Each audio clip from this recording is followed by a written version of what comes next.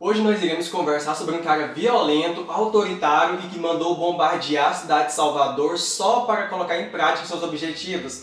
Estamos falando do oitavo presidente do Brasil, o gaúcho Hermes da Fonseca. Bem, então fica aqui comigo nesse vídeo que até o final iremos explorar um dos governos mais diferenciados da Primeira República no Brasil.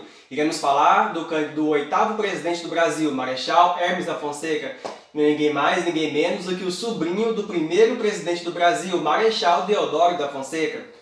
Bem, pessoal, se vocês viram os meus vídeos anteriores aqui no canal, em que eu estou falando de todos os presidentes da República no Brasil, a iniciar pelos presidentes da Primeira República, vocês viram que o presidente Afonso Pena e o ex-presidente Nilo Peçanha destoaram um pouco dos demais presidentes da Primeira República no Brasil, porque eles não trilharam de forma retilínea e totalmente focada o caminho percorrido pelos demais presidentes da República que vieram atrás deles que era a política do café com leite, a centralização nos interesses econômicos da elite cafeicultora e a centralização política nos estados de Minas, São Paulo e Rio de Janeiro.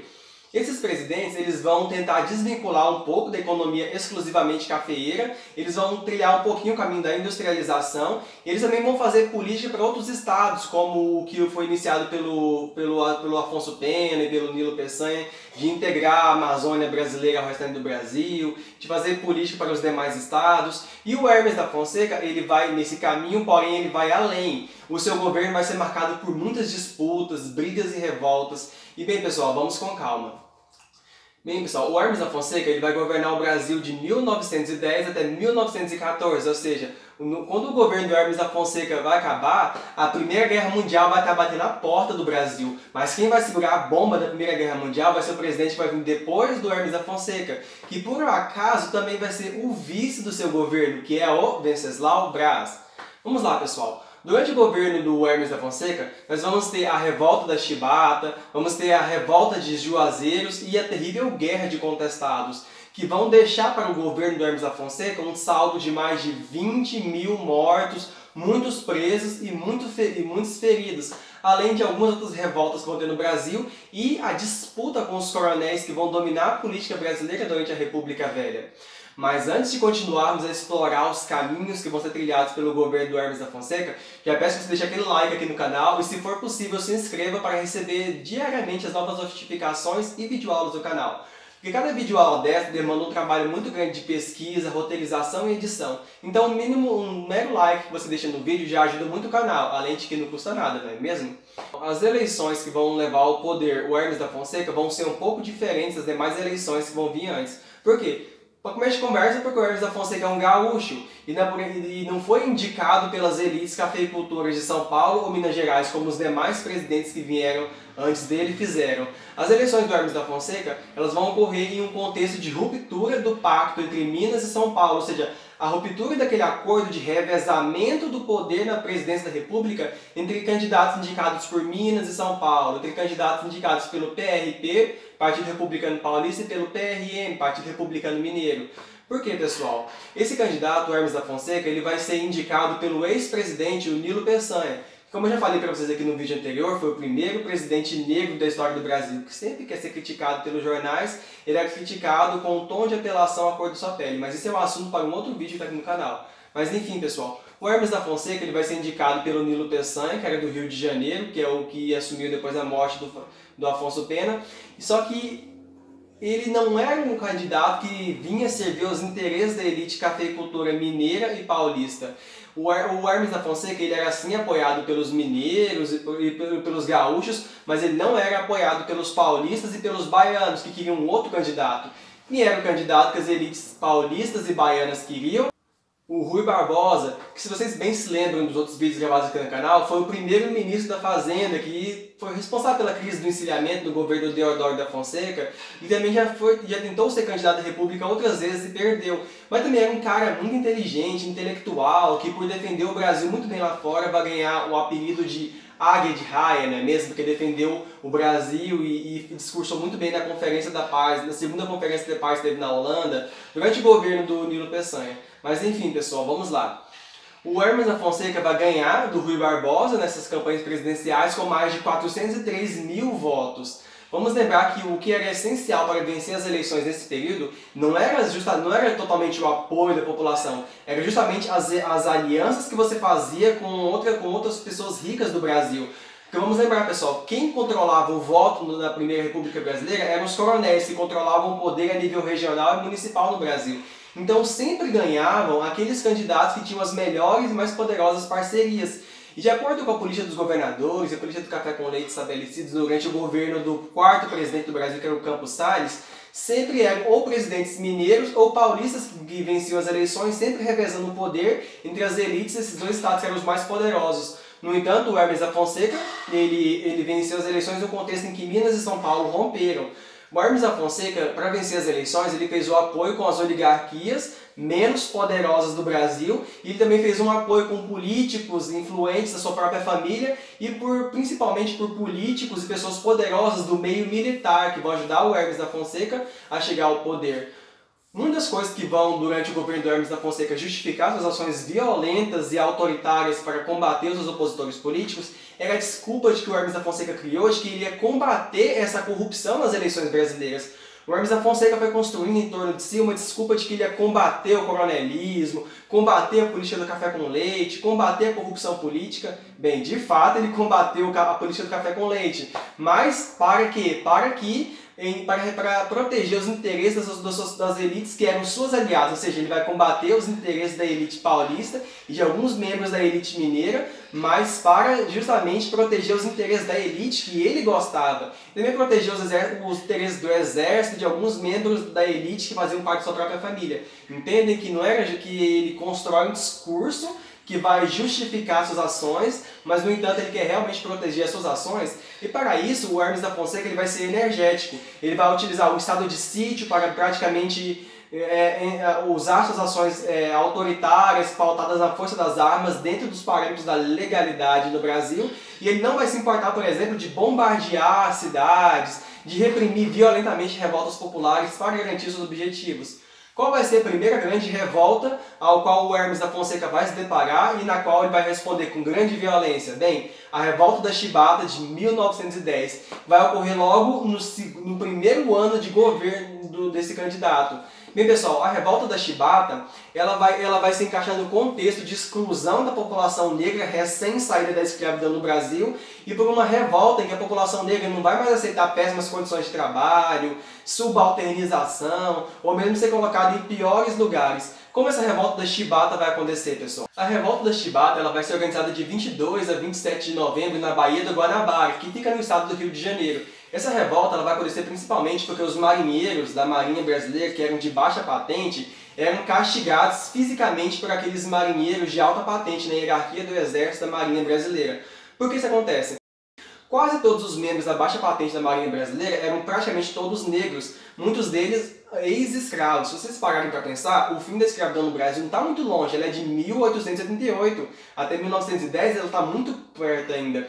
Muitos desses ex-escravos, não tendo para onde ir, vão entrar para a Marinha Brasileira, ocupando obviamente os cargos mais baixos. E geralmente os, os, aqueles que ocupavam os cargos mais altos do, do exército e, do, e, da marinha brasileira e do exército como um todo eram sempre pessoas brancas do seio aristocrático brasileiro. Pessoas brancas da elite que fazem parte do seio aristocrático brasileiro sempre têm uma visão muito ruim, muito elitista sobre, esse, sobre esses ex-escravos e muitos dos erros cometidos ou algum, alguns alguns deslizes cometidos por esses marinheiros da baixa patente tinham sempre punições muito graves, punições muito severas, como por exemplo serem chicoteados por aqueles que estavam um pouco acima deles na hierarquia da marinha. E esses, esses, esses castigos físicos vão gerar revolta, não apenas os castigos físicos, as péssimas condições de trabalho, de alimentação, de vivência que esses membros da marinha tinham que viver diariamente no exército. O estopim da revolta vai ser quando Marujo, Marcelino e Rodrigues Menezes vai ser punido com 250 chibatadas sem direito à assistência médica. Evidentemente ele vai morrer. Isso vai provocar uma indignação geral entre os outros membros da Marinha, que além de estarem indignados com a morte do companheiro, com os maus tratos que eles recebiam na Marinha, eles também estavam o tempo todo se comparando, ou seja, comparando o tratamento que eles recebiam com o tratamento que os marinheiros de outros países recebiam. Eles percebiam, por exemplo, que os marinheiros da Inglaterra não recebiam esse tratamento, os marinheiros de outros países não recebiam esse tratamento, sem falar que o líder da revolta, o João Cândido um homem etnicamente negro, conhecido como Almirante Negro, havia testemunhado a revolta dos, dos, dos, marinheiros da Rússia contra os maltratos que eles recebiam. Então ele vai levar essas experiências que ele viu na, na, na Europa para o Brasil e vai fazer com que os outros membros da baixa patente da Marinha também se revoltem, se indignem com o que eles estavam recebendo ali diariamente. Dessa maneira, em 22 de novembro de 1910, os, os, os, os militares da Marinha de baixa patente vão ocupar quatro embarcações brasileiras vão ocupar a embarcação São Paulo, Minas Gerais, Bahia e Deodoro. É, exatamente, uma das embarcações de guerra tinha o nome do Deodoro. E eles vão apontar esses, os canhões dessas embarcações de guerra para a cidade do Rio de Janeiro. Nesse exato dia, nesse exato momento, quem estava fazendo uma, uma festa em comemoração às suas vitórias nas eleições presidenciais era o Marechal Hermes da Fonseca. O Marechal Hermes da Fonseca ele vai receber uma carta dos revoltosos dizendo que, olha, estamos indignados com os castigos físicos que recebemos, queremos a abolição dos castigos físicos, melhores condições de trabalho, melhores condições de alimentação e queremos também que os, aqueles que estão fazendo a revolta sejam anistiados, não sejam punidos, porque, poxa, estamos fazendo uma revolta para justamente colocar em xeque aquelas coisas que nós não estamos gostando, que estamos colocando em péssimas condições de vida. Bem, não tendo condições de reprimir essa revolta, o Hermes da Fonseca vai fingir concordar com os termos da carta vai falar: tá bom, os marinheiros revoltosos serão anistiados, a, a chibata vai ser abolida, nenhum deles vai ser punido, todos eles vão receber melhores condições de trabalho. E assim que os marinheiros vão baixar sua guarda, todos eles vão ser presos, outros vão ser, outros vão ser enviados para o Acre.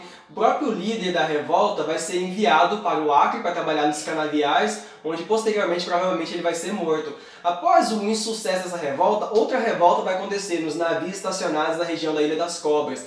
Porém, diferentemente da primeira, essa segunda revolta vai ser violentamente reprimida, os seus revoltosos vão ser massacrados e outros vão ser enviados para a Amazônia. Bem, pessoal, essa foi a primeira revolta que nós tivemos no governo do Hermes da Fonseca. Passada essa primeira revolta, a revolta da Chibata, o grande movimento estratégico do Hermes da Fonseca para liquidar com seus adversários políticos foi a chamada política das salvações, em que ele vai tentar, num, ele vai tentar através do uso dos, dos militares, do exército, retirar os presidentes dos estados, a gente fala presidente dos estados, não governadores dos estados. Ele vai tentar retirar os presidentes dos estados que não são favoráveis ao seu governo, principalmente, aquele, obviamente, aqueles membros das oligarquias das oligarquias que não apoiavam o seu governo. Se você bem se lembrar, dos, nos outros vídeos que eu fiz, o presidente para poder governar, ele precisa do apoio dos governadores e daqueles políticos, que, daqueles políticos a nível estadual e municipal que apoiam suas medidas. E em vez de tentar fazer acordo com os, com os, com os presidentes das províncias, membros das, das elites oligárquicas que não apoiam, como fizeram os outros presidentes da república, não. O Hermes da Fonseca vai tentar retirar a força os, governadores, os presidentes dos estados. Geralmente ele vai colocar ou civis ou militares no lugar desses ex-presidentes de, de, de, das províncias ou estados. E vai ser, ou seja, não importa se é, um, se é um civil ou militar, ele vai colocar alguém que apoie suas medidas e que seja de sua confiança. Por exemplo, em 1912 ele vai substituir o, o presidente do estado do Alagoas pelo primo dele, que ele vai ser colocado no que vai ser colocado na, como, como, como presidente ou governador do estado do Alagoas. Obviamente que isso vai levar algumas críticas, né? Porque o Hermes da Fonseca, ele sempre está usando como justificativa para os seus atos a desculpa de que ele está limpando a corrupção do cenário nacional. Porém, as pessoas vão olhar e falar, nossa, mas ele está tirando um rival político para colocar o primo dele no local? Será que ele não está apenas substituindo aquele aquele, aquela pessoa corrupta por outra pessoa corrupta que vai representar os seus interesses. Só que essa tentativa do Hermes da Fonseca de trocar os presidentes ou governadores, as províncias ou estados que ele não gosta, não vai ser tão fácil assim. Ele vai encontrar séria resistência em alguns lugares. Vai sendo, por exemplo, necessário bombardear o estado de Sal ou a cidade de Salvador, na Bahia. Ele vai encontrar, por exemplo, forte resistência popular no estado do Ceará, que vai, inclusive, inclusive vai originar uma revolta popular terrível, que é chamada Revolta de Juazeiro, que vai fazer com que os interesses do presidente ali no estado do Ceará não sejam concretizados. Na Bahia, ele queria que o representante de seus interesses fosse Joaquim Seabra, contra o governador que estava na Bahia. No entanto, esse estado vai oferecer forte resistência ao presidente Hermes Fonseca. Então em, então, em 1912, ele vai tomar uma atitude drástica. Para poder sobrepujar seus adversários da Bahia, o Hermes Fonseca vai mandar bombardear as ruas de Salvador. Pessoal, se você viu o vídeo da capa, a capa do vídeo aqui no YouTube, vocês vão ver que, a, que, as, que as ruas de Salvador vão se transformar em um verdadeiro cenário de guerra, dada a violência dos atos do Hermes da Fonseca ali na região. Sim, depois de um ato violento como esse, bombardear as ruas de Salvador em 1912, de fato ele vai conseguir que o, que o, que o José Seabra, que é o membro da elite que representa seus interesses, consiga de fato usufruir o seu poder, usufruir do poder no estado do no estado da Bahia. Mas isso não, mas a mesma coisa não vai acontecer no Ceará. No Ceará uma revolta popular terrível vai impedir que o Hermes da Fonseca concretize seus objetivos, que é a chamada revolta de Juazeiro, que acontece em 1914. Essa revolta, pessoal, ela é terrível. Ela vai ser protagonizada por personagens como Padre Cícero, Coronel Franco Rabelo, a elite dos Acioli no Nordeste. Mas como essa revolta ela vai acontecer? Bem, pessoal, a ação do Hermes da Fonseca ali no, ali no, no estado do Ceará, e provavelmente na cidade cearense de Juazeiro, foi retirado o poder à, oligarquia dos Acioli. Os Acioli são uma poderosa família do Nordeste que controlava a política na região. O Hermes da Fonseca vai enviar o coronel Franco Rabelo para destituir os Acioli do poder e ocupar o cargo ali. Um poderoso, um membro poderoso e muito influente na região era o padre era o padre Cícero, que era governador de Juazeiro e vice-presidente do estado. E ele era um fervoroso apoiador da, família Cioli. Por isso, ele vai ser então perseguido pelo coronel Franco Rabelo e posteriormente destituído do cargo. A destituição do padre Cícero vai provocar a indignação dos outros membros da elite nordestina e a indignação dos membros do seio popular do estado do, Nord... do, estado do Ceará. Nesse momento, as oligarquias lideradas pelo Floro Romeu começaram a regimentar pessoas para, para, para combater as medidas do governo, arregimentando jagunços, pessoas pobres, romeiros, membros da elite, todos eles formando um verdadeiro batalhão para combater as medidas é, botadas em práticas pelo Hermes da Fonseca. O Floro Bartolomeu vai se dirigir ao Rio de Janeiro em busca de reforços. Mesmo nesse momento, as tropas do governo não estão conseguindo derrotar os revoltosos, Concomitantemente, alguns membros do, do, grupo de revoltosos se dirigem à fortaleza para destituir o governo imposto pelo Hermes da Fonseca. As, a, a, então, a superioridade da batalha está nas mãos dos revoltosos, que não estão deixando as tropas do governo destituí-los do poder e não estão conseguindo deixar as tropas do governo penetrarem em Juazeiro do Norte. O Hermes da Fonseca, vendo que aquela revolta não seria tão facilmente derrotada e que o seu, o seu interventor no Estado não conseguiria se manter no, no poder, vai, vai ceder em algumas coisas e vai convocar novas eleições para o novo presidente do, do, do Estado. O Benjamin Lobato Barroso vai conseguir vencer as eleições e o Padre Cícero vai ser restituído no seu cargo de vice-presidente do Estado do Ceará. Obviamente a Igreja Católica não vai ficar de olhos fechados contra esse, contra esse evento e vai excomungar o Padre Cícero do, do, do seu, do, do, seu, da, sua, da sua posição dentro da Igreja Católica. Mas as pessoas da região vão continuar cultu, cultuando a imagem do Padre Cícero como alguém santo e cuja imagem é sagrada até os dias de hoje. Bem, pessoal, da passada revolta de, da Chibata, a revolta de Juazeiro, o bombardeio, o bombardeio da de Salvador, na Bahia, Vamos passar agora para o, último, para o último conflito que vai marcar o governo de Hermes da Fonseca, que é a Guerra do Contestado. Uma guerra que vai começar em 1912, mas que não vai ter fim durante o governo de Hermes da Fonseca. Essa guerra, pessoal, ela vai ter fim durante o governo do nono presidente do Brasil, que é o, que é o Venceslau Braz, que até então é o vice do Hermes da Fonseca. Mas vamos com calma, pessoal. Como essa terrível guerra vai começar? Ela vai começar, pessoal, numa região chamada de Juazeiro, que é uma região que é localizada entre os estados de Santa Catarina e Paraná, no sul do país. Aquelas, aquelas porções de terra, pessoal, vão ser compradas por uma empresa chamada Brasil Hallway Company. Eu não lembro, eu não sei como é que fala, porque é um nome em inglês, mas me perdoe. Então, mas e, e, as, e, as, e as pessoas que moravam naquela região, muitos deles, muitos deles poceiros, simples agricultores, pequenos proprietários de terra vão ser expulsos das suas terras em que eles viviam há décadas com suas famílias para a construção de uma estrada de ferro que tinha como destino ligar o estado do Rio Grande do Sul ao estado de São Paulo, mas cujo, mas cujo caminho passaria por aquela região do, de Juazeiro que fica entre Santa Catarina e Paraná.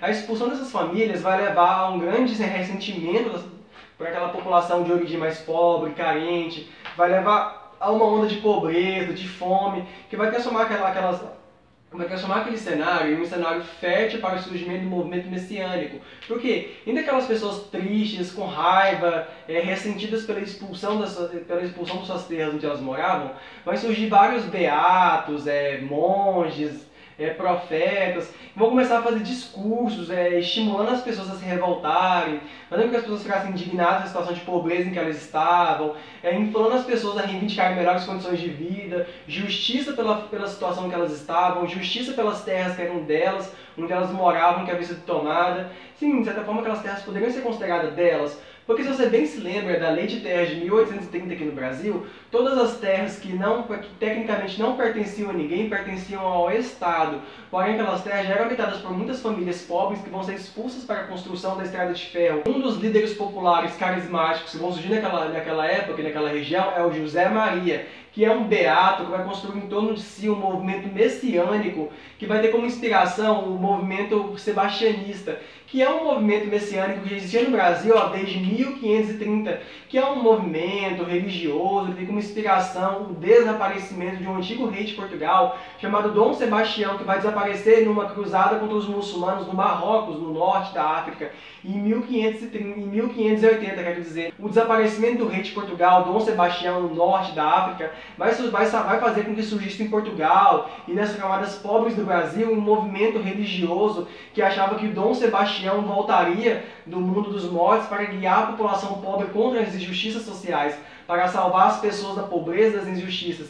Esse movimento é chamado de, messian... de sebastianismo. E inspirado no movimento sebastianista, o José Maria vai construir em torno de si um movimento religioso messiânico em que ele, Dom, em que ele, José Maria, guiado por Dom Sebastião e, pela, e, pela, e, pela, e pelo divino, guiaria as pessoas a uma vida melhor, a justiça e a, e a, e a reivindicação de suas terras. José Maria, então, junto com seus seguidores, formam, formam uma, uma comunidade chamada Quadrado Santo, que é, uma, que é como se fosse um mini-estado dentro do estado. Essa comunidade chamada Quadrado Santo vai, vai sobreviver do furto e roubo de gado das fazendas locais, pela, pela, pela formação de uma agricultura local de subsistência, que é uma agricultura que as próprias pessoas fazem para a sua própria sobrevivência. Vendo a, a criação e a expansão dessa comunidade, o governo federal e os governos municipais vão começar a ficar com medo, com medo do crescimento dessa comunidade, da expansão de outras comunidades desse tipo. Então eles vão enviar tropas legalistas para destruir essa comunidade e prender os organizadores dela. Percebendo a aproximação das tropas do governo, José Maria e os membros da comunidade vão fugir para uma cidade chamada Faxinal do Irani, no Paraná. As tropas do governo se reorganizaram e foram novamente perseguir os seguidores da, da seita do José Maria. Então que novamente as tropas do governo vão ser sobrepujadas e derrotadas pelas tropas do seguidor José Maria. No entanto, num desses muitos conflitos com o governo, o monge José Maria vai ser morto.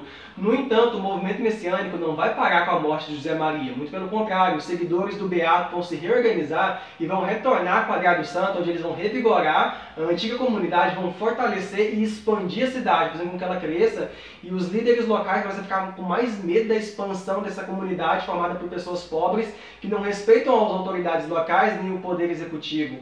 Dessa maneira, as tropas do governo vão ser novamente enviadas para combater Quadrado Santo, só que serão derrotadas pela comunidade. O conflito foi se estendendo de 1912, 1913 até chegar em 1914, o ano que seria o último ano do governo do Marechal Hermes da Fonseca. Obviamente que as, que as disputas do Hermes da Fonseca com os governadores, com os presidentes das províncias, as, as, a, os confrontos com a comunidade contestado vão servir de desculpa para que o Hermes da Fonseca instalasse um estado de sítio no Brasil, que é um, que é um, que é um estado em que o presidente ganha poderes especiais para poder executar ações mais energéticas, violentas, amparado legalmente pela Constituição. Mas enfim, pessoal, como vai ser finalizado esse confronto do governo contra as tropas de contestado? Mais uma vez, em 1914, mais tropas serão enviadas para combater os, os, os sertanistas, cuja força é assegurada pela vontade de ter uma vida melhor e, pela, e, pela, e pelo sentimento de justiça contra as, contra as mazelas sociais que eles viviam. Obviamente, pelos fortes sentimentos religiosos também era capaz de guiar eles para lutas cada vez mais sangrentas. Esses sertanistas vão fugir das tropas do governo em 1914 vão se reagrupar para novamente reconstruir a sociedade. Esse confronto, pessoal, foi tão terrível tão difícil que iniciou-se em 1912, estendeu-se para 1913, 1914 e ele foi tão difícil para o governo que ele não vai ter fim em 1914. O conflito de contestado só vai ter fim em 1916, durante o governo do nono presidente da República, que será o Venceslau Braz, que até então é vice né, do Hermes da Fonseca. E como esse conflito vai ter fim durante o governo do Venceslau Braz?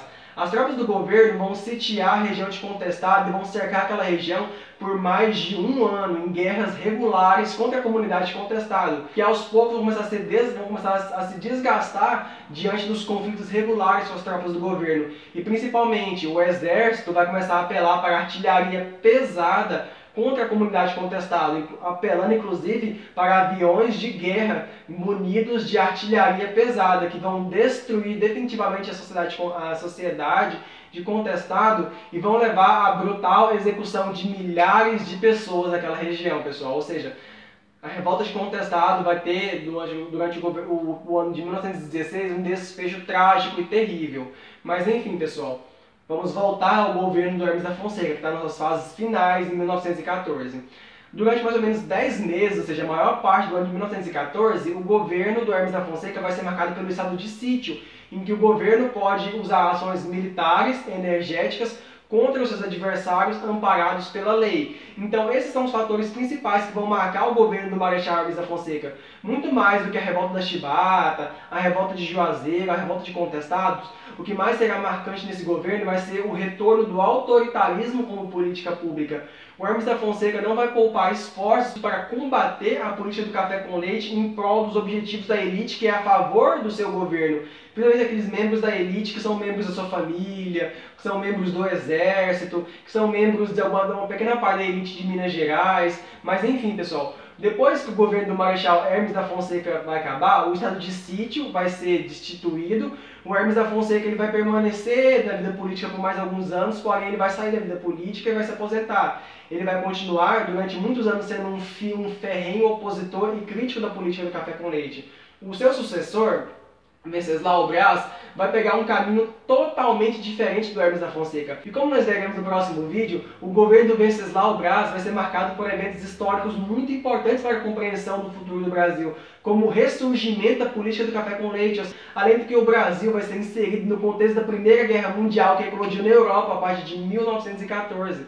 Como o Brasil vai se dar no meio da Primeira Guerra Mundial? Como vai ser o recrudescimento da política do café com leite? Tudo isso nós veremos no próximo vídeo. Por isso é muito importante que você já se inscreva no canal para receber as notificações das próximas videoaulas que lançaremos. Também é muito importante que você já deixe o seu like, porque cada vídeo desses demanda um trabalho muito grande de pesquisa, roteirização e edição. Então o seu like é muito importante para que o YouTube possa indicar o nosso canal para mais pessoas, para me ajudar a alcançar mais pessoas e para me incentivar a voltar aqui e gravar mais vídeos. Já agradeço muito por você que assistiu o vídeo até aqui. Um grande abraço, até a próxima e valeu!